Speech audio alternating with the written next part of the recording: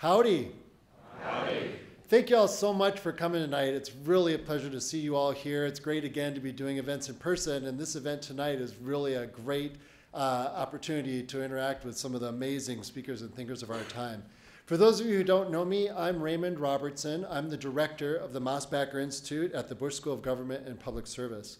And again, I want to thank you all very much for coming out and spending tonight with us. We'd like to welcome you to the event, of course, which is assessing Chinese and Russian influence in Latin America and the Caribbean, which is part of the other side of the border, ties that bind and issues that divide speaker series that really features practitioners working on the border and Mexico and throughout Latin America. We owe a huge amount of gratitude to our sponsors tonight, so I'd like to just thank them explicitly. So obviously, we're really excited to hear from two of the leading Latin American experts. Uh, we're really excited, but first, we'd like to recognize and thank the Mosbacher Institute's co-sponsor for the event, which is the Carlos H. Cantu uh, Education Opportunity Endowment, directed by Dr. Felipe Hinojosa. Uh, the Cantu Endowment enables researchers, community leaders, and educators to come together to address Latino, Latina, education in the state and in the nation. So we want to thank you so much for making this possible tonight. I'd also like to recognize another great partner of ours, which is Dr. Robert Holzweiss, right, who's here in the front row, uh, who's the acting director of the George H.W. Bush Presidential Library and Museum, and who's been a wonderful figure in our community and really an anchor for all of us. We want to thank you so much for everything you've done in making this such a great place. He actually brought in a very special guest as well, who's Kara Bond um, who's the director of the National Archives of Presidential Libraries. We're so honored that you made time to spend with us tonight, and we're really excited that you're here. So thank you so much for joining us. Um, of course, uh, probably one of the most important people here tonight is Dr. Aileen Teague, and I'd like to address, uh, introduce her and thank her very much for everything that she's done. She's the series organizer, and um, she's been working obviously with the Mosbacher Institute and we have a border and migration program that really, to be completely frank, is holding Aileen as the keystone as this project. So uh, that wouldn't be happening without her. But what, the, what we're trying to do with that program is to produce multidisciplinary research on the impacts of migration and economic uh, international flows across the border, trade, finance, as well as migration, and enhance evidence-driven policymaking uh, and community engagement. Um, for those of you who don't know Professor Teague yet, I mean, she's one of our stars here at the Bush School. She joined the Bush School's Department of International Affairs as an assistant professor in the fall of 2020. She previously held a post, uh, postdoctoral fellowship at Brown University's Watson Institute uh, for International Public Affairs and earned her PhD in history from Vanderbilt University in 2018. Born in Colon, Panama, uh, she traveled the world as part of a military family and served in the U.S. Marine Corps. I've heard her say many times, my beloved Marines. Um, made a big impact on her from 2006 to 2014. She teaches some of our classes uh, in American history and U.S. relations with Mexico and Latin America, as well as thematic courses addressing issues such as interventionism, drug enforcement, national security, and addiction in U.S. society. She um, always enjoys providing a voice on how history has shaped and continues to shape current social and political issues. It's such an honor for me personally and for the Mosbacher Institute to be working with her on the speaker series. She's been doing an amazing job, as you'll see tonight, uh, to shed light on these very important issues about migration and the border. So with no further ado, I'd like to thank Aileen and welcome her up to the podium. Thank you.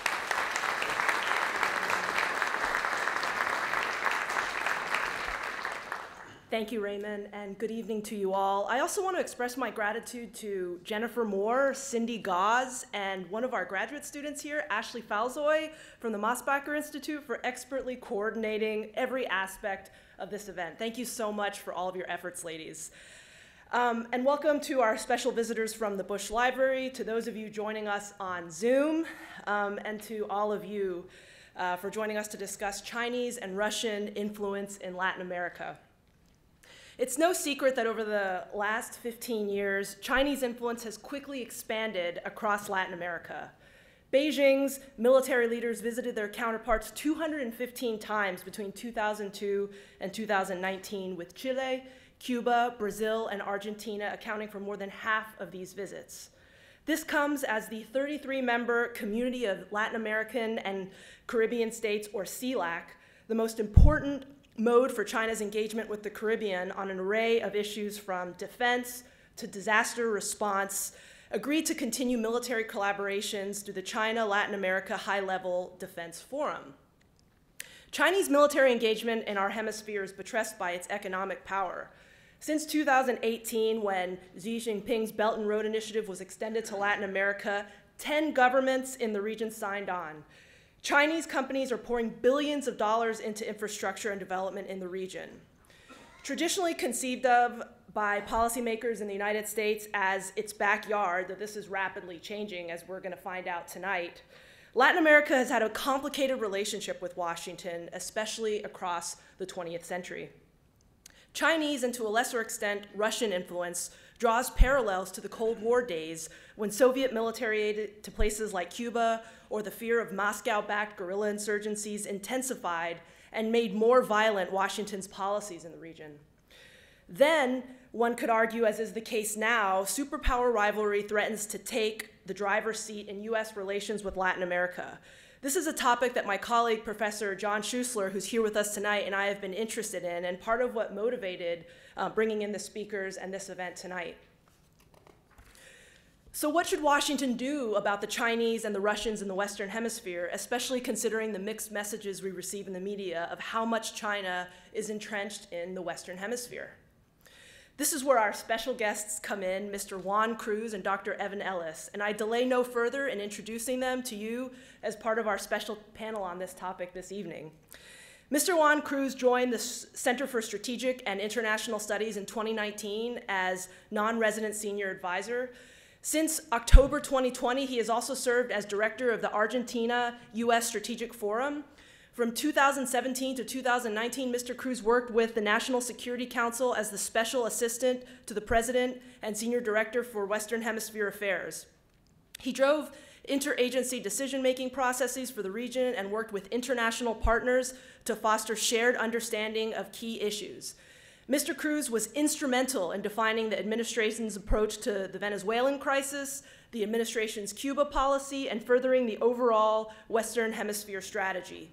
Since then, he has advised the private and public sectors to include foreign governments as well as multilateral institutions, um, like the Organization of American States, uh, on issues um, throughout the region. Mr. Cruz's professional career spans three decades as a public servant in U.S. government. His deep understanding of the political and security issues in Latin America was honed through official overseas postings in Brazil, Colombia, Guatemala, Honduras, Mexico, Panama, Peru, and Venezuela. Dr. Evan Ellis is a research professor of Latin American Studies at the U.S. Army War College Strategic Studies Institute with a focus on the region's relationships with China and other non-Western Hemisphere actors, as well as transnational organized crime and populism in the region. I'll say that one cannot explore the topic of the Chinese and the Russians in Latin America without coming across Dr. Ellis's work. He has published over 400 works, including five books, most recently the 2022 book, China Engages Latin America, Distorting Development and Democracy. Dr. Ellis previously served as the Secretary of State's Policy Planning Staff with responsibility for Latin America and the Caribbean, as well as international narcotics and law enforcement issues. Um, in his academic capacity, Dr. Ellis has presented his work in a broad range of business and government forums in 27 countries and four continents. He has given testimony in Latin American security issues to the US Congress on various occasions, has discussed his work regarding China and other external actors in Latin America on a broad range of, uh, of radio and television programs, and is cited regularly in the print media in both the US and Latin America for his help in the area. Um, a note on submitting questions. Um, the way that this is going to work with the panel is I will ask both speakers some initial questions and then invite you all to submit your questions electronically.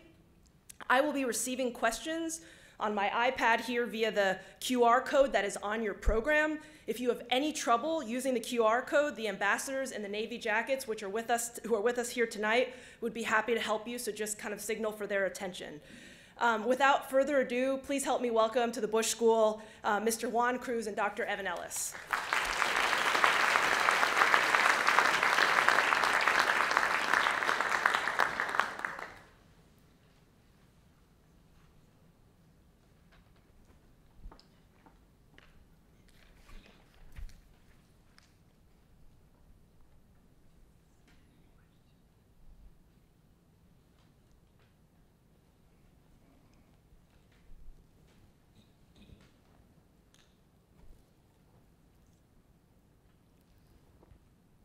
Right, I'll do a quick test test. Hopefully everybody can hear me. Okay, well, I want to just jump in because there's a lot of aspects to cover on this topic. And to kind of start with a baseline topic, I mean, we've been talking about this topic all day in different forums and different classrooms, but let's just start simple here in asking what does every American need to know about the Chinese and the Russians in Latin America that we might not know right now? Uh, if you permit me, I think the first thing I would do is um, talk a little bit about the, um, the, the, the, reason we're here. I'm going to give a little, my commentary is going to be a little heavy on China, a little less so on Russia, and I want to be provocative from the start and say the reason for that is perhaps we should be thinking of um, Russia's uh, fixation right now on the war in the Ukraine might give an opportunity and present uh, China with the opportunity to be Russia's proxy in the region for these issues. And so it's, um, it's an interesting way to look at it. I don't think we've had enough evidence yet, but it's something that um, we should be looking at. It. Anyway, um, I'd like to model maybe something from, um, from how we conduct business in, in Washington, which is read a lot of documents, a lot of memorandum. And so it's oftentimes we see um, more commonly at the beginning of all documents, uh, the first line in bold says BLUF. And BLUF meaning bottom line up front. And if there's anything that you really want to know about, of this material, it should be distilled in this one sentence. And I think what I would like to leave you with in, in my commentary today is um, think of it as China may not be as bad as you think it is yet. And with that, I would, I, I'd like to talk maybe about a few myths it's okay with you, a few myths about China and the region and how we can uh, often get it right or wrong, or the region gets it right or wrong.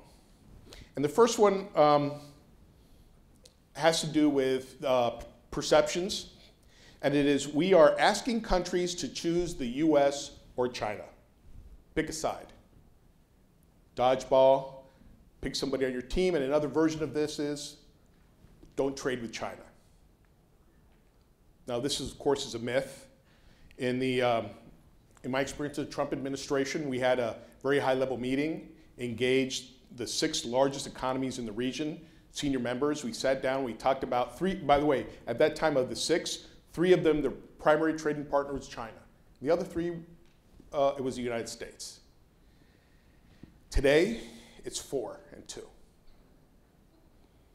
And at the time, the, uh, the United States, we tried to explain to them all the things that you've heard, the, the arguments, and they rang pretty shallow, especially because the US's primary trading partner is China. So myth number one, you know, don't do business with China. Myth number two, China is displacing US companies, and especially in infrastructure. And that's unfortunately not true. If you look, the data shows US companies left the region well before China arrived. And we can get into this in the question and answer period, but who did they displace? The Canadians and the Spaniards and the South Koreans and the Argentines and Odebrecht from Brazil, and we know how that played out in the region with uh, corruption scandals involving Odebrecht. So the Chinese actually displace others. So the myth that somehow they're displacing US companies. Um, and there's, well, the third myth, myth is that we, um, there is a great risk in adopting Chinese technology in communications, right? That's what these, the countries look at us and say, is there really a risk? And is there any more risk than if we engage in that technology with someone else, particularly the US? And so they look at the cases of um, Assange and um, Edward Snowden, and they say, if our information isn't vulnerable through the Chinese, it would be vulnerable to the US or, another, or, or to the US, US, or others. Uh, myth number four, good over evil will prevail. Our argument is that we wear the white hats, they wear the black hats. We support democracy and human rights, and we have common values. And of course, um, uh, the, the, the Chinese are repressive and so forth. And um, quite honestly, that and we have proven that that ends up not winning the day. There are a lot of reasons for that. Again, we can get into it. Democracy has lost lots of its enthusiasm in the region, unfortunately. And then fifth, that the Chinese presence in the region is bad.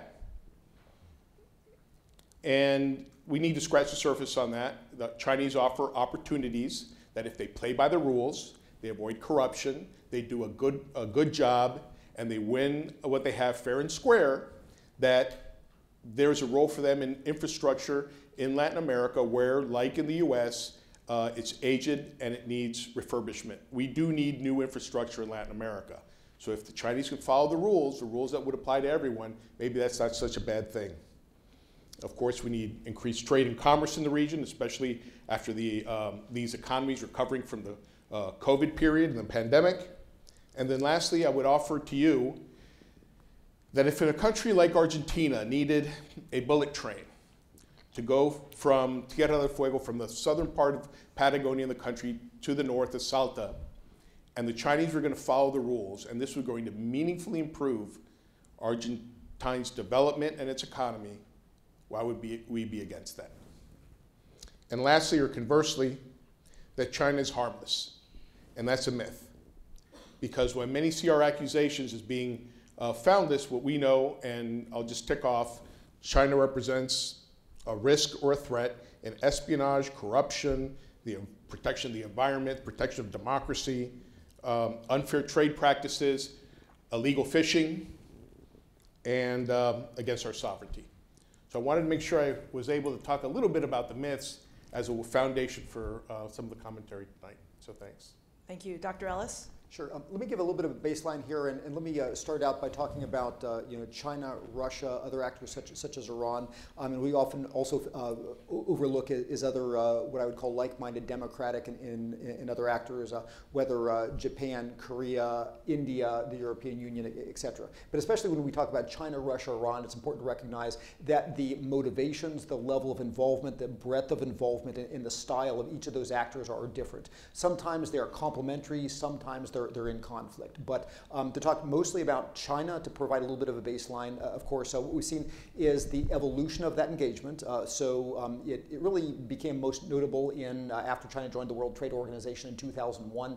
Uh, so we're up to the point in which China is now the, the number one trading partner of virtually every nation in the region south of Costa Rica, with a total of about $450 billion in, in, bilateral trade, depending on whose figures you use. Um, in addition, in about 2010, as Chinese companies especially the SOEs, became uh, more experienced. You got to the point uh, of investing a total of about uh, $173 billion in, in the region, uh, in addition to uh, loans from Chinese policy banks such as China Exim Bank and, China Development Bank.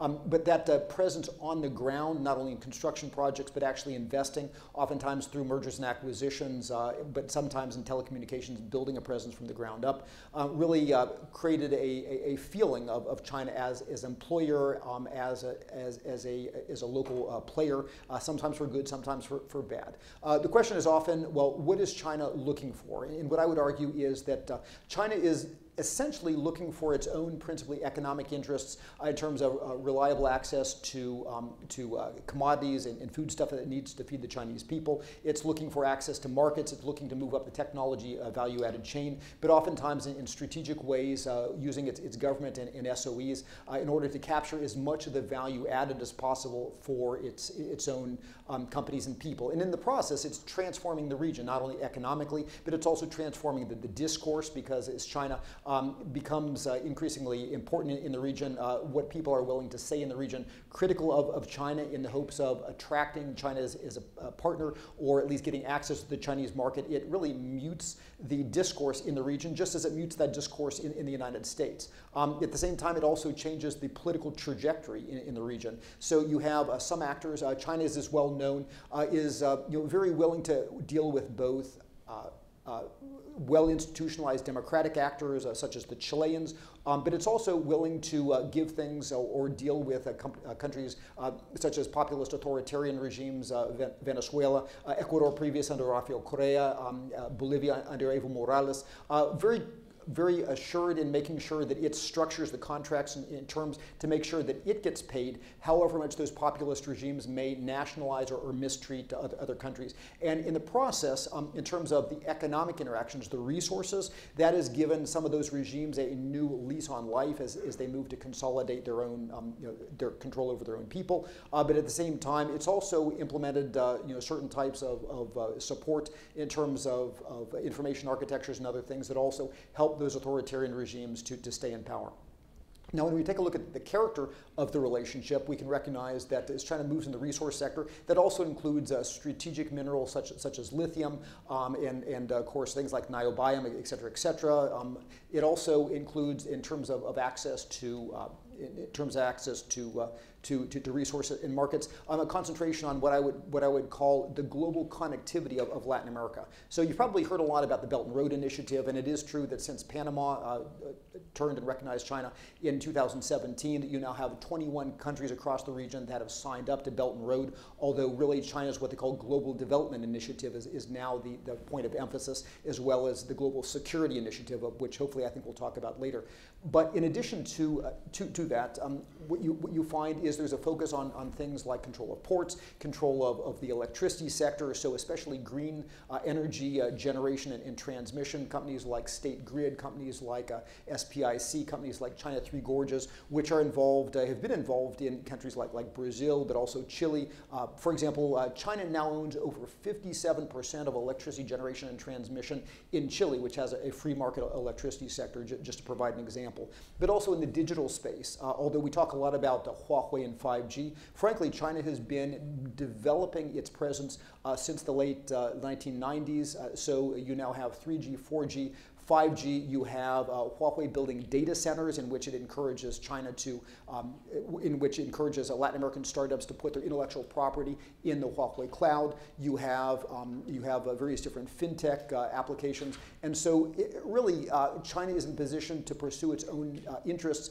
by controlling the strategic connectivity of Latin American economies. Um, but just to close, I also I would point out that it's not just about the economics. China is very engaged in both the multilateral and um, in bilateral space. It very actively uses free trade agreements to pursue those, those objectives to open up uh, th those countries. Um, most recently, of course, uh, um, uh, uh, Ecuador, um, which just completed a free trade agreement, Uruguay, which is going in, in that direction. Um, El Salvador, which might soon be moving in that direction. Of course, uh, multilaterally through CELAC, the Chinese are consummate bureaucrats. And so uh, Aileen had mentioned, of course, the, the China CELAC Defense Forum. And so um, what you find is whether it's the Defense Forum, whether it's the Disaster Release Forum, whether it's the Space Forum, China is very active and engaging uh, in, in, the space domain, which creates a number of, of strategic as well as commercial issues. Uh, China is uh, very effective in, in using the, those forums to pursue its, its interest. I mean, now, of course, as we move beyond COVID-19, uh, and uh, China moves beyond its own zero COVID policy, what we see uh, with already the, the prospects for, um, for, for, China to engage in the region with the just canceled uh, but likely renewed uh, visit by, by, Lula da Silva in, in, in Brazil, uh, the likely upcoming visit with, with Xiomara Castro as, as Honduras becomes the latest state that, that has flipped. Um, as we look at the prospects for Gustavo Petro to, to travel to China later this year, Gabriel Boric of Chile to travel, and the possibility that Xi Jinping will actually travel to, to the region, I think what we see is is um, that uh, we're moving into a period in which, um, as we focus more attention on this in Washington, that there's going to be a lot of activity, both commercially and, and politically, um, that will continue to stimulate the discourse about what the nature of the threat is, and frankly, what the tools are at our disposal to, to respond. Fantastic. We have a lot of questions coming in, which is very encouraging. And what I want to do, I mean, we, we're covering security issues, um, global uh, currency issues, and of course, I definitely want to jump into the subject of uh, Lula da Silva's recent, recent visit to Washington versus his proposed visit to China. But what I want to do is uh, pose one question to you, Dr. Ellis, um, to answer, uh, and then I have a, a, separate question that I'd like to pose to, to Mr. Cruz. And um, the first question very clearly comes from probably Professor Debris' class, um, who you all sat in just a, a little earlier today. Um, and bear with me for one second, all of these questions are, are, are coming in very quickly. But according to General Van Herk, commander of NORAD and NORTHCOM, and this question is for you, Dr. Ellis, there are more Russian GRU agents in Mexico than any other country in the world. However, China's MSS and other intelligence community actors' presence in Latin America is less known. How much influence or action do China's intelligence services commit in the region? That's a great question. Um, so, uh, as you as you understand, uh, during the Cold War, of course, uh, you know Russia has that that infrastructure, and going back to the time of Luis Echeverria in, in Mexico and others, uh, you know Russia's long time you know had that that experience. Um, and to this day, in many ways, as Russia re-engages the region, especially since 2007, uh, you uh, have Russia trying to reactivate some of those networks, and yet its, its economic basis um, and, and, the resources to, to do so are, are, limited, especially now as um, you know its ability to, to, do so has been a bit frozen out as a consequence of the Ukraine. Uh, in general, what you find with, with China is that although, uh, you know, uh, especially with its, its security services, it was unknown, China's been very effective in, in two areas. Number one, through its people-to-people diplomacy, and number two, uh, through its, its, its, digital capabilities. So in people-to-people, what you find is through the um, approximately 44 Confucius Institutes that you have in the region, which serve as, as gatekeepers, but also through the types of trips that the Chinese regularly do, um, sponsoring some of Latin America's China-interested elites to, to come over to China in on, on Han scholarships, um, which then uh, you know, those students uh, go back speaking Mandarin, um, and oftentimes are the ones that, that capture their uh, their country's um, you know, foreign foreign affairs, foreign ministry, trade promotion organization uh, slots representing their countries but before China. But oftentimes there are trips by uh, China's leading, uh, you know, Latin America's leading intellectuals that studying, but oftentimes trips by Congress people, tri trips by military personnel. so you have the National Defense University in, in Chongqing that has a short courses, three to five week courses that bring over those military officials. So it's about developing those relationships, um, but also in the region, of course, as China has built up it, its architectures. It's also developed not only the ability to work in the region, of course, uh, with the expanding footprint of, of Chinese companies, uh, but also in the digital domain. As, as I mentioned before, um, uh, under uh, the 2017 Chinese national security law, uh, what you have is the obligation of, of companies such as Huawei uh, to turn over any material that, that's relevant to national security. And so, as you have the increasing ubiquitous uh, nature of, of those things, we've, we've already seen uh, Chinese um, uh, Chinese uh, involved in at least uh, deniable hacking activities and, and things like that, uh, but also recognizing that, that so much of the architecture, about 60%, for example, the telecommunication architecture in Latin America is constructed by Huawei or, or ZTE or, or, others. So many that the telephones are, you know, if not Huawei, they're Xiaomi, they're Oppo, they're, they're other Chinese phones. Um, you have, uh, you know, Chinese ride-sharing applications, uh, such as, for example, Didi Chuxing, which is actually competing with Uber in the, in the ride-sharing space. You have, um, you have companies like, like Jack, Jack Ma's, um, you know, uh, uh, you know, Alibaba, which is very good with, with business to business. And so the opportunity, and of course, security systems companies like, like Hikvision, like, like Dahua, uh, some of the smart cities and safe cities architectures.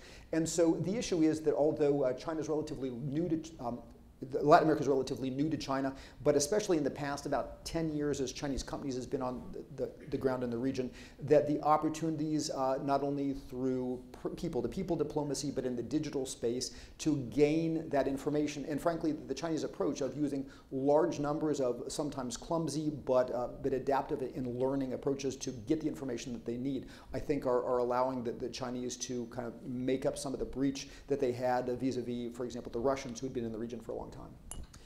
Fantastic. Um, Mr. Cruz, I want to switch over to, to Brazil and um, talk about uh, President um, Luis uh, Inacio Lula da Silva, who visited Washington for one day to visit President Biden in, in February. Um, he was then scheduled to visit China for a six day trip, which it's been rescheduled. Um, but this appears to open up new, new prospects in China Brazil relations. And I'm wondering, um, having spent a significant amount of time in, in Brazil, does China's closeness to uh, Brazil threaten U.S. interests, and if so, how? Well, I think what we're, what we're seeing in Brazil is a, uh, under the um, Lula 3.0, is an opportunity to regain space that they had given up in the diplomatic realm. Brazil has always been very active, and their foreign ministry very active uh, overseas, and it would have been significantly less so under Bolsonaro, President Bolsonaro. So I think they're recovering a little bit. This is space for Itamaraty to recover. And let's not forget, of course, that you know Brazil makes the B in BRICS. And, uh, and so there are some obligations there. I think the Biden administration has done an excellent job of building early bridges. I think there's a lot of, uh, there's been a lot of confidence placed in Lula early on. We usually don't do things that well. And so they paid attention. There's been some love, and that, that's reason why early, early, early in the administration he gets to visit Washington as part of um, uh, the Biden administration's efforts to, to build um, solid or rebuild solid bonds there. Now, um, I think the, the piece with China is, is worrisome in that some in the uh, Brazilian, um, in the Lula administration have already said and passed judgment that the visit in Washington didn't really amount to much. And, um, and then I think you can see some projection there in that the Brazilians presented the Chinese with over three dozen um, agreements for signature. Now that reflects a little bit Brazil's penchant for you know form over substance and the, and the love of you know protocol. And you know a lot of countries love to sign agreements, but at the end of the day, even the Chinese walk that back. They're only going to be 20 something agreements that they're going to sign. And, and we've all seen these. You know, these are some agreement, agreements more significant than others. But I, I think what we're, we're seeing is a, re, a, reflection of the Brazilians uh, attempting to regain the space that they believe that they should have in the um, international arena. Okay. I want to ask kind of a follow up question that comes in from the audience. Um, how will the BRICS and of course Brazil is the B in BRICS. How will their economic realignment translate into political realignment? And, um, and there's been a couple questions that have come in on um, global, uh, the US dollar as a global reserve currency. Um, how will that political and economic realignment impact uh, the US dollar as a global reserve currency?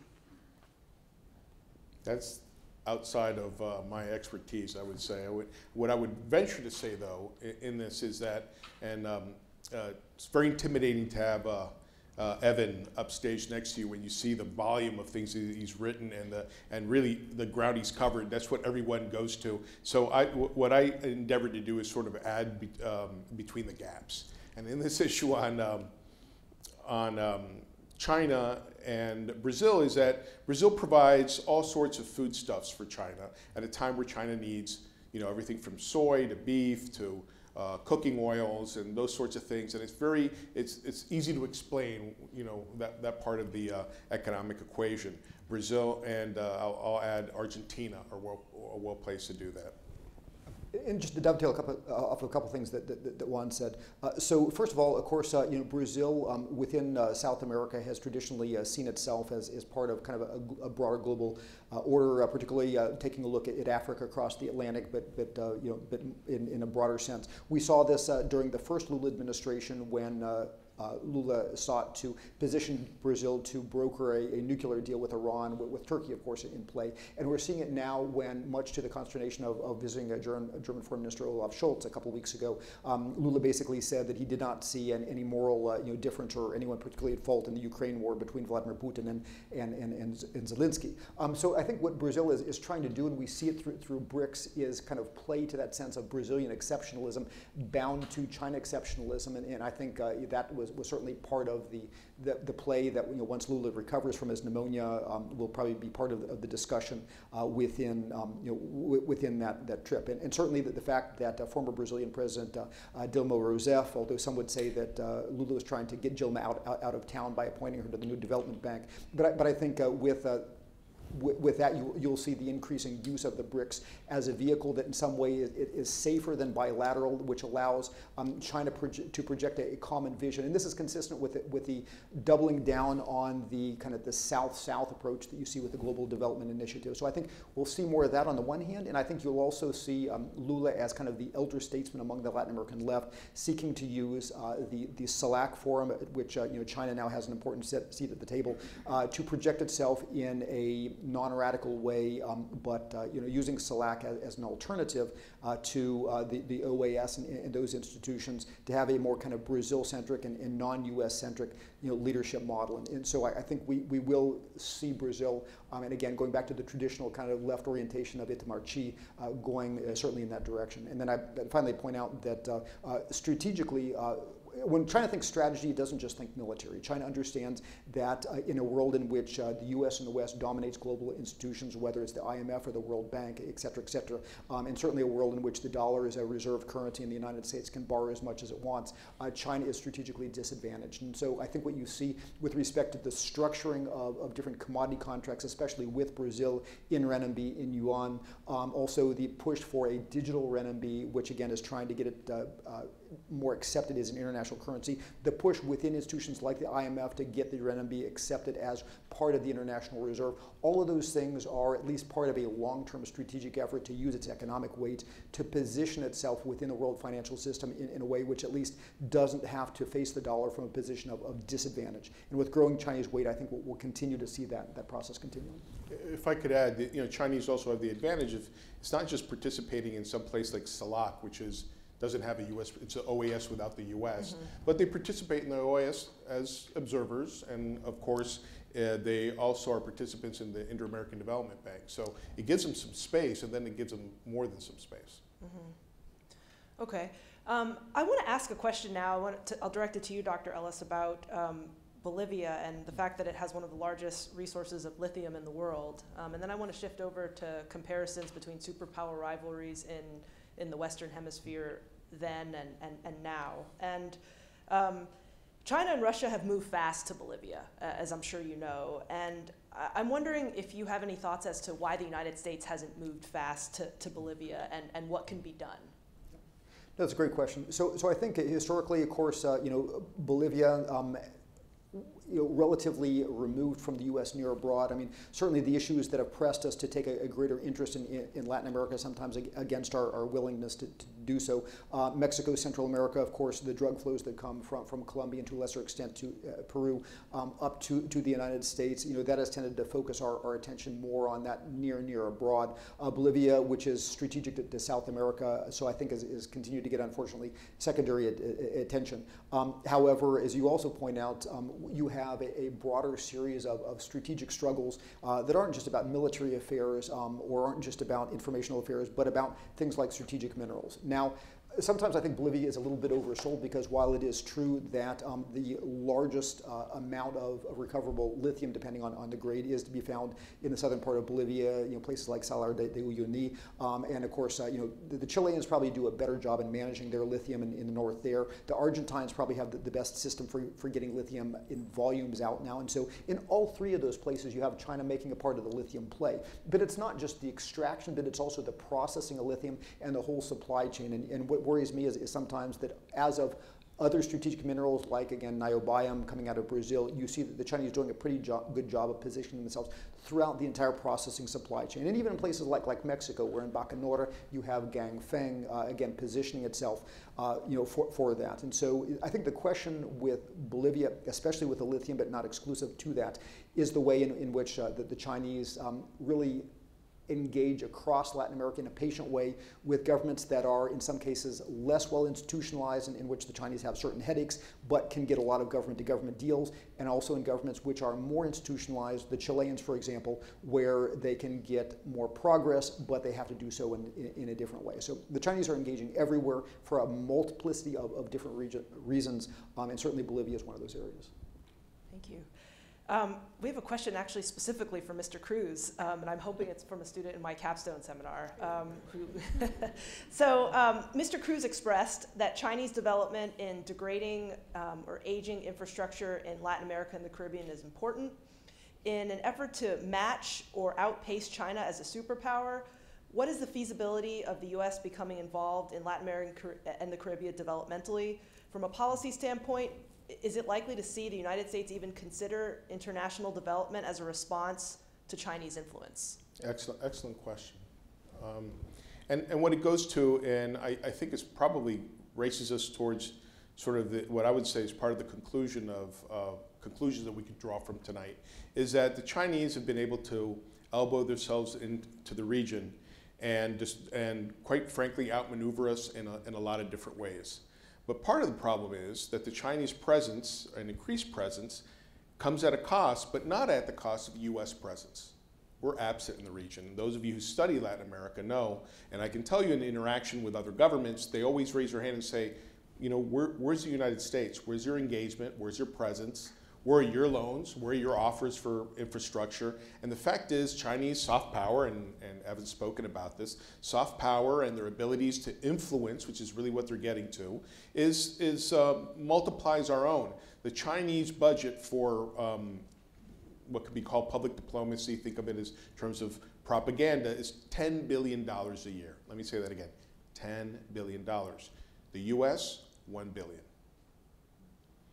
And so if we look at that and, and, we, and we see how the Chinese, I once had a senior member of um, the Ecuadorian government come to me and say, listen, where are the loans that the U.S. used to, you know, um, offer overseas and the opportunities to study in the United States and scholarships and where is that?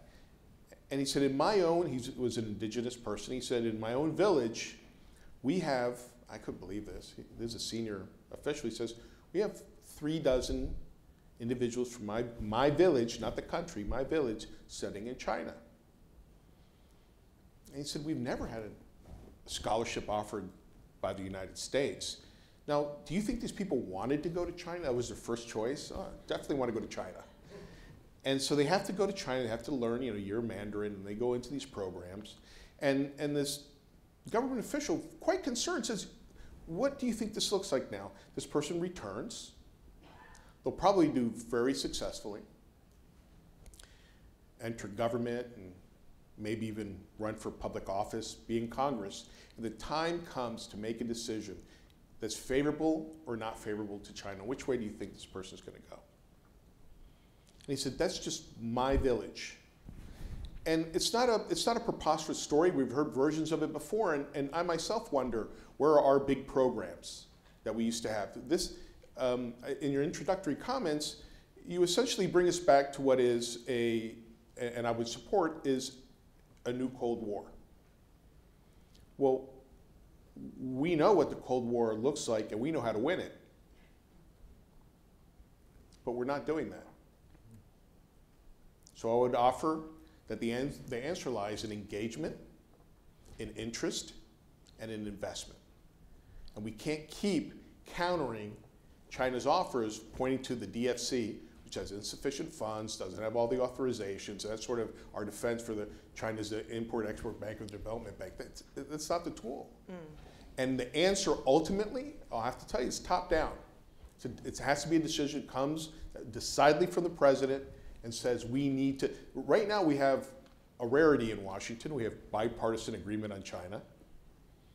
We have the National Security Strategy, a 48 page document, which comes from the president. China's on 20 of those 48 pages. You have the National Defense Strategy, way too many pages, 140 something. Second paragraph of the document, China.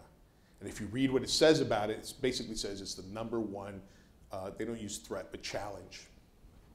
And if you look at the annual uh, threat assessment by the intelligence community, China's the number one country listed. So if we're worried about all this, and both parties agree, and you know, we look and China's eating our lunch in the region, why aren't we doing something about it? And that's a big question. Can I, I, I want to tease out your response a bit more, Mr. Cruz, with, um, with a question that came in from the audience. Um, and the, uh, the question is, um, could you elaborate on your opening comment that China is not a threat yet? Um, what are things that we could do to mitigate advancements of this threat in Latin America? Well, well part of it is I'm, I'm, of course, trying to be provocative and get some questions in. But the other one, and I think it's a disservice that's done, and is that we overstate the Chinese threat. And I see that time and time again when we cite things that the Chinese are doing that are, quite frankly, business as usual. And it's difficult as we're trying to convince partners of a very serious um, issue. By the way, I, I spoke to, three weeks ago, to a very senior person in the administration who has met with 20 leaders in the region, and China's always on the agenda. And he said, listen, they're not idiots. They know that China's a threat, that there's a problem. But it's not, they don't look at it from the white hat, black hat, good and evil. They look at it as access to interest-free loans and finance and development. And, and he says it just comes down to dollars. Dollars that we're not providing and they need to get from somewhere. And so when you, you know, when you look at the issue of China and where they're coming, they're not a threat. I would say they're not a threat, but we're not well served. And what doesn't work is when we sit down, and it baffles me, but when we sit down, we talk to them about Sri Lanka, what happened in Sri Lanka. Guess what? I don't know one single incident where that's resonated with individuals that we've raves. We got to stop doing that. You want to talk about something to work? Ecuador, perfect example. Show, show them, listen, not only are, are you an oil hostage to China through a very bad agreement, but also um, in their um, Coca Codo uh, hydroelectric dam, the thing is riddled with fissures, making it unsafe with shoddy workmanship and bad construction. That's the poster child we should be putting out there, not the language they don't understand. And I think part of it is we're still struggling, and we're behind the, the, the ball here, we're still struggling to come up with that which resonates with the region where they don't say espionage. Well, if it weren't them, it would be you. You know, oh, you know. and we need to find the vocabulary, and I think that that's one of those, right?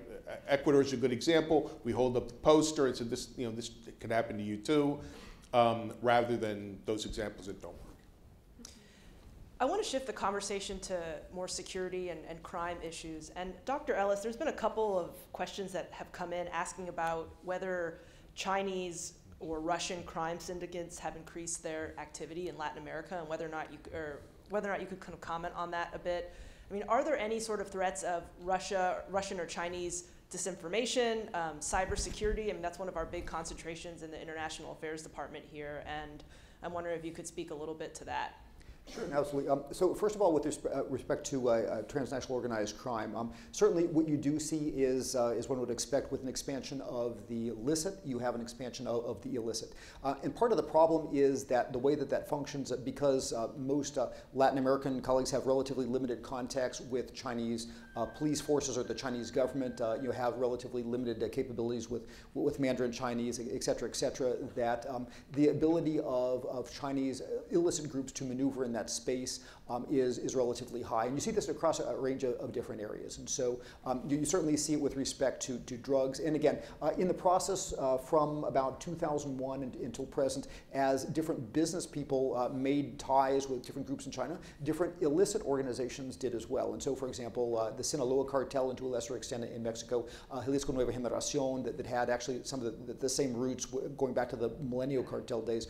Um, but uh, some of those ties with Chinese triad organizations and others, uh, initially trying to um, you know, export their product to, to uh, China and other places around China, but also uh, then uh, with time importing precursors for things like um, you know, uh, ephedrine, pseudoephedrine for, for methamphetamines, and of course later fentanyl, uh, much of which uh, came out of, of, Wuhan. So you begun to see that process imported, um, especially through, through Mexico and then from Mexico to, to the United States. Um, but in addition to that, you saw, for example, in the mining industry, you, um, you know, places like Madre de Dios, um, to a, to a lesser extent the Llanos of, of Colombia, the interior of, of Venezuela, where you have, um, again, a, process of, of, laundering, but, but ultimately those products purchased um, you know, by different uh, faceless entities in, in China. So um, one of the other difficulties is you have increasingly a Chinese role in, in, money laundering. And especially for Mexico, this has become a huge problem as you've had a significant penetration of Chinese banking and especially retail banking, organizations such as ICBC and to a lesser extent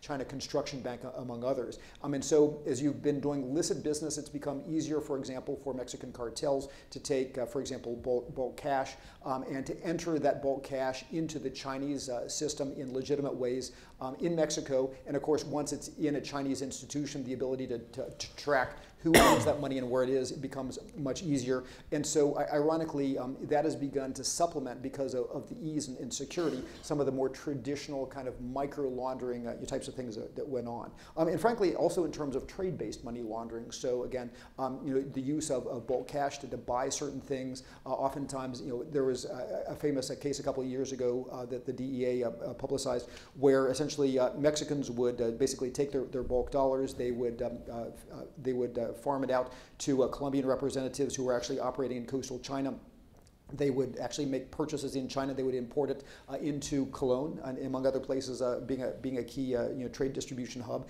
and then basically would, would enter uh, in, in, a laundered fashion um, you know, through through through bulk goods. Um, and it goes to arms smuggling, it goes to other things, it goes to human trafficking uh, through uh, Chinese uh, communities, which oftentimes, again, you think uh, Latin American law enforcement organizations have relatively little capability in, in speaking Mandarin. Uh, try to find you know, who has capability in, in speaking Cantonese or, or, or, Hakka, which are, again, some of the, the more you know, traditional dialects that those communities, Chinese communities in the Caribbean, you know, speak. And so, again, where there is, is shadow, it's, it's easier for those groups to move. So, um, this is an increasingly emerging challenge that requires more coordination, requires different types of, of capability.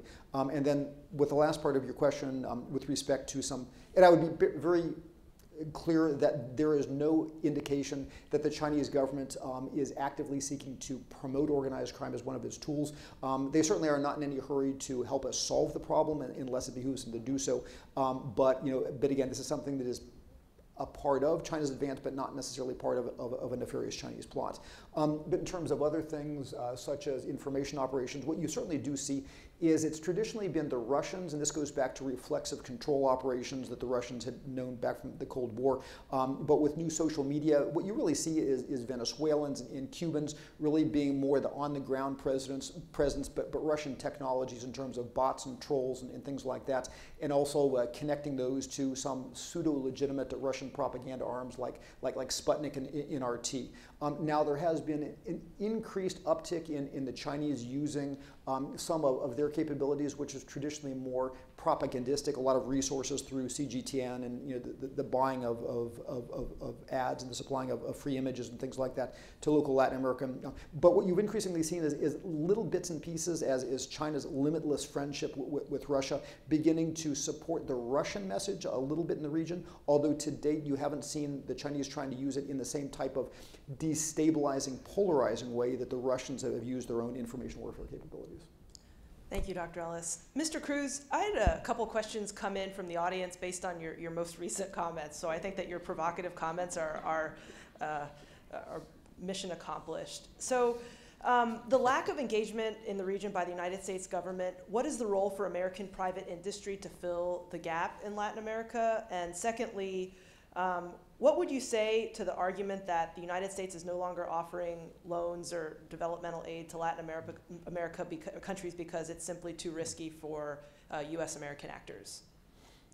Okay, so uh, thank you. The so how do you lure companies back to the region, especially U.S. companies that would, you know, that would like to maybe come back and and let's get back to the companies that left in the first place and why they left because I think it's important to understand.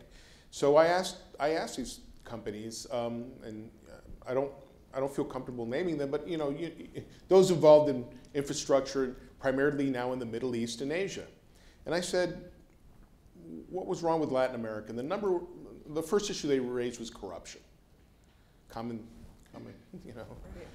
Um, and they said, you know, unlike other countries, you know, we'll go to jail for what these folk are asking or what's expected from us or what we're competing under. We're, and we're highly disinterested in, in forming part of this. So, you know, the corruption piece, and even if there is no corruption, then we go to part number two, which is trying to get paid. They say ultimately, in these projects, we don't get paid, we don't get paid on time, and we don't get paid in full. And thirdly, the projects are simply not big enough. They're big for the region, but they're not big when you're comparing them to the big infrastructure projects in the Middle East and, and Asia. And I, I think today we could probably push back a little more on that because we are talking about bigger projects. But if you're the US company and that's what you have, a, a lot of problems, possibility of getting yourself in, in you know, sort of legal danger and competing unfairly, and it's not a lot of money, and they're not going to pay you anyway. What a deal. And so that's, you know, I would argue that that's why you find companies like Odebrecht involved in what they did, where they did it, and how successful they were. It was it came a time that anything worth building was being built by Odebrecht, a Brazilian company, around the region. And that's why the Odebrecht uh, scandal, corruption scandal, uh, splattered on so many leaders in the region and so many countries in the region. And I think this is probably well within the comfort level of the Chinese to operate. Thank you. Um, Dr. Ellis, I had a question for you that came in from, from the audience. Um, and the question is um, do you think in any way or form that the Chinese are overextending themselves across the globe? And do we see any sort of impacts of this in Latin America? And I'll ask this maybe perhaps a, in a different way. Um, the way that we're looking at it, or the way that we see it depicted in the media, sometimes it appears that Chinese influence in the hemisphere is uniformly positive, and Mr. Cruz uh, um, mentioned the, the Ecuador case. Um, but what other countries or areas of the region are pushing back against the expansion of, of Chinese influence, if at all? Sure. And this goes back to, to Juan's question, the, the idea that if we, in our, our Western, uh, relatively short-term rationality, can't find a way to, to make money in a secure way, um, then if the Chinese are engaged, it's either because they're, they're stupid or there's some nefarious uh, plot. Um, and it also goes back to a secondary, I think, a deeper-rooted belief, and I've seen this over the past 20 years that, I, that I've followed uh, you know, China's evolution, which is um, this this, this belief that um, something will magically happen, uh, whether it's the interior collapse of, of the Chinese system, because uh, you know, we, we, talked about Evergrande and, and the, especially the, the, the, retail sector, the debt overhang with, with local governments as well as the national government in, the private sector, um, you know, structural contradictions uh, in terms of, of uh, demand generation, the healthcare system, uh, pollution, uh, you know, you pick your, you know, the education system, et cetera, et cetera, et cetera. Um, and so I think oftentimes there's a tendency to, to cherry pick um, what are completely valid uh, problems that the Chinese are struggling through uh, and, and, to underestimate the enormous amount of, of, control and the adaptive ability that they have. And frankly, the, the fact that they are able to do things uh, differently than, than we do. So for example, um, you know, many people assumed that they were you know, just being foolish in, in Venezuela. But in the case of Venezuela, the structure of the deal, and, and the same thing with Ecuador, was oftentimes through parallel contracts, actually short-term contracts, usually, usually a three-year line of credit. Um, so that, that essentially um, uh, Chinese uh, companies would, would get uh, credit to do work. Uh, they would receive progress payments, but basically it would run up their account in, in a Chinese bank, the Ecuadorian or, or, Venezuelans. Um, and then as Chinese companies, in, in the case of, of Venezuela MPA3 with, with CNPC, um, in the case of, of, Ecuador, it was Andes Petroleum, which had a significant operations in, in, in the interior of the country. Basically, they would take delivery on, on that oil, making a lot of money there, it would pay down the line of credit. So the bottom line is that the Chinese companies were, you know, if it ultimately didn't produce anything of value, the Chinese companies were, were still getting paid for their effort, similar patterns in Bolivia, um, and the money never left China. And so there wasn't a matter of, for example, Rafael Correa doing what he did with the IMF, saying, we're not going to write you the checks. Because the only way to not get the Chinese paid was to basically physically stop them from pumping the oil that was going to, to repay those loans. Um, now, th there is much has been said, and it's absolutely correct, that the Chinese are you know, horrible at traditional risk assessment, and especially at a time when you had near zero uh, per, uh, percentage interest rates, and money was basically free, and, and, especially when there was a lot of, of, of state backing uh, for the companies that had access to those lines of credit, um, and the way that kind of Sinosure did business. Um, a lot of foolish decisions were made, and it, probably about 30% of, for example, the Belt and Road Initiative projects in Central Asia and other places are, are, are non-performing.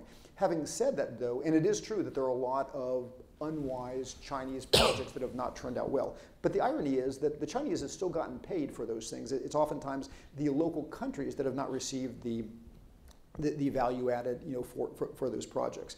Um, and I think finally the, the thing that I would say on this is with respect to the US uh, policy response. Um, again, oftentimes there's this idea of we need to compete symmetrically. Um, in other words, okay, so China's providing money, we need to offer money. Um, the problem is that, that, structurally we as a you know, fundamentally market-oriented economy with, with a democracy, we do not have the agility. We do not have, for better or worse, the, the uniformity of voice. Uh, we do not have the ability to mobilize private sector capital in places where private sector capital does not want to go. And so um, some of the things that we're struggling with is, is um, you know, it doesn't make sense to compete with China necessarily on their own terms.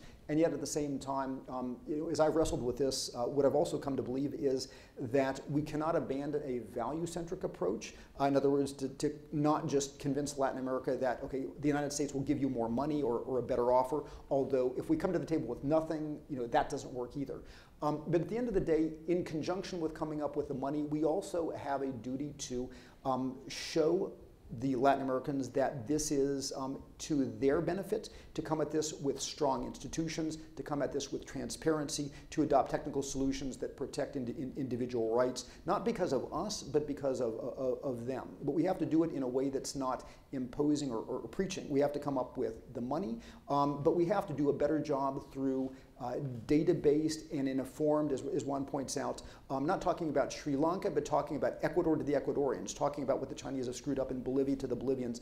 Um, but at the end of the day, it's convincing our Latin American uh, counterparts that um, you know you may not get the benefits that you dream about. You may not be able to control the risks that you think that you can control. And at the end of the day, there are certain reasons that you want to have transparency in, in other things. So to me, that has to be the core of the approach, that, that, that balance approach of, of money, but money coupled with values of what's in Latin America's interest.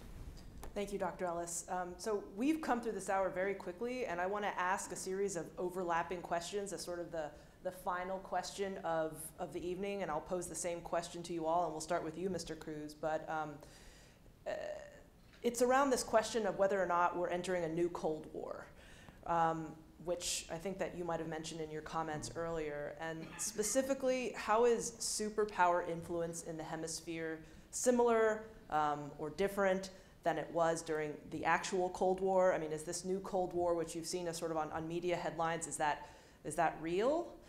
Um, and if that's the case, um, what is Latin America's role in this, this new conflict? And someone asked in the audience, I mean, is there any way that Latin American countries can sort of play these superpowers off of each other?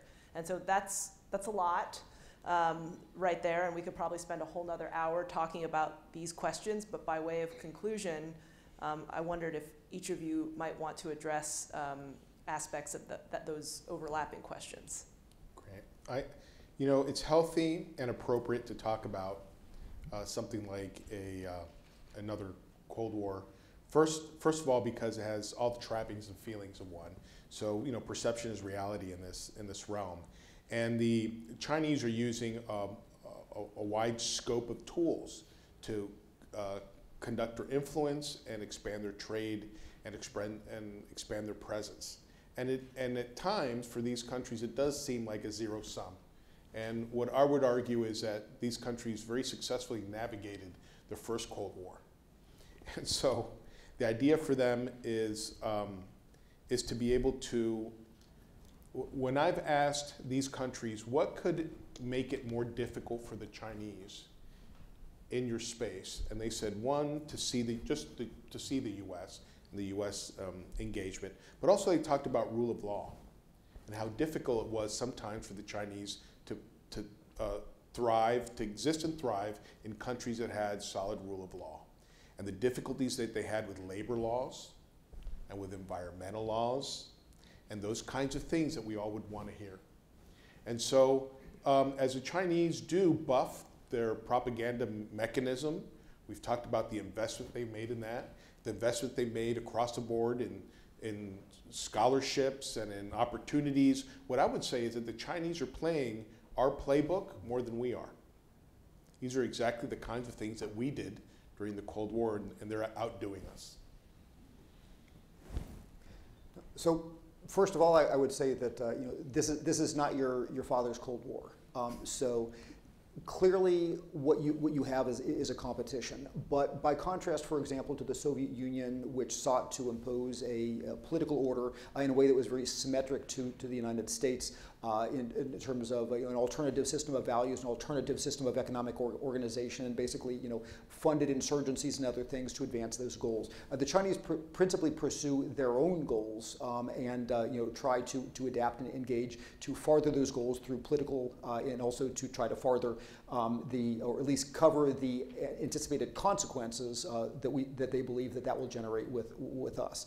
Um, what that means is that um, it, it's very difficult for, for us to say okay, well, the Chinese are trying to overthrow governments. Um, but the reality is, what the Chinese oftentimes do uh, is, again, through providing resources, you know, with no political questions asked, um, they change the trajectory of the region, uh, and they they provide alternatives that take us away from some of the dynamics that we would like to promote in terms of democracy, human rights, etc.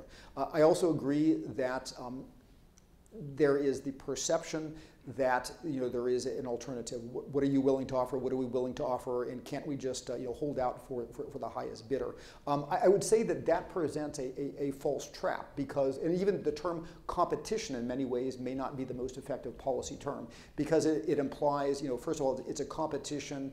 Um, for as opposed to a competition between. In, in, in other words, okay, who is going to give us the best offer? And Latin America is just you know choosing the highest bidder. Um, and what I go to back back at the end of the day is that the difference between the United States and, and China with respect to Latin America um, is we are fundamentally attached to Latin America. In other words, by bonds of, of family, by bonds of geography, by bonds of, of you know, economic dependence, as we've seen through drugs, as we've seen through immigration. When things go well or when things go badly in the region, it directly impacts the United States in ways that it does not impact China. And so I think what that takes us to is a more asymmetric response, which is that the United States can't tell Latin America, um, okay, don't do business with China. Um, they're sovereign states, that will be counterproductive and it will be ineffective. Um, what we have to do is fundamentally re recognizing the stakes. We have to work with Latin America to be a better partner because at the end of the day, it's things like pushing for transparency, which eliminates, um, narrows the possibility for China to do those dirty deals that benefit the elites but not the Latin American publics. It's helping our Latin American partners to, to push for more effective project planning to make sure that what they invest the people's money in benefits them long term and not uh, just the latest bauble like you know, the, the, you know, the, the high-speed train that uh, the Chinese wanted to build in Panama. Um, you have to uh, do a better job in evaluating contracts. technical, you have to do a better job in, in evaluating, um, evaluating risks of, of, investment like we do with the CFIUS process.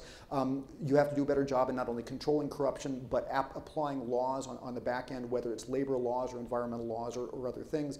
Um, and you have to make better um, data-informed decisions. In other words, um, you know, a process by which saying, you know, we, you know, there, there, are certain reasons why you want to do you know, certain things um, with respect to holding out for these, the, the, these values. Um, and the, the deal that looks attractive, um, that your elites want to sell that to you because you know, their brother-in-law's sister's uh, company is going to make a lot of money off of the intermediation deal, um, may not be in the long-term interest for you. And so at the end of the day, to me, what it really comes down to is selling Latin America that we have a stake in the well-being of the region. We certainly have a long way to go with that. Um, but it's about being a better partner and, and bringing prosperity and stronger institutions to Latin America together. Um, if we aren't convincing in that, and if we don't bring the resources and, and do that effectively, then there's nothing we can do to outbid China or, or outblock China that's going to be able to really allow us to prevail and, and keep this a prosperous hemisphere at the end of the day.